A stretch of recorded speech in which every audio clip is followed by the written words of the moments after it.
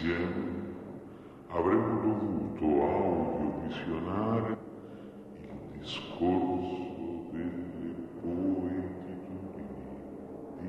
Zanghese, il postfede, l'idiota del villaggio ormai cosmico che, tavole di destinavigazioni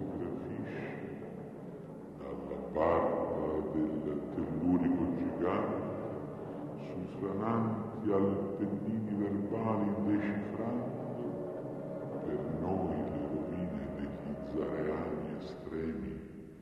e dai linguaggi stellari e dal prisma delle ovvisioni ai poetoclasti, ai nitiliasti, l'enciclopoetia del cosmo stanno affidando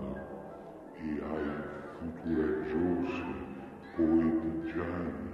scoprendo i poetoni, le poeticelle, per scrivere infine scrittronici, voi, necentropitechi, lu poetia del rinessere.